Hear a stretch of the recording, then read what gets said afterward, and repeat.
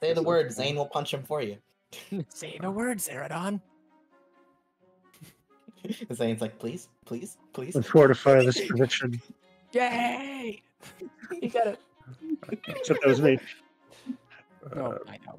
Still. Blasphemy. But I, I gave him a timeline, and so far we're still within the grace period. So if I'm not seeing anything out of the ordinary, then I guess I'll just continue on. Cool. Bet you didn't know I could Ruby, do that. what do could you want to do this turn? I bet you didn't think I could do that. Typically, it skips over my turn. Ooh.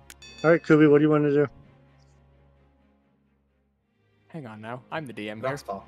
I asked me what I want to do. Oh, Galactic. All right, well, well, All right, Coop. What do you want to do?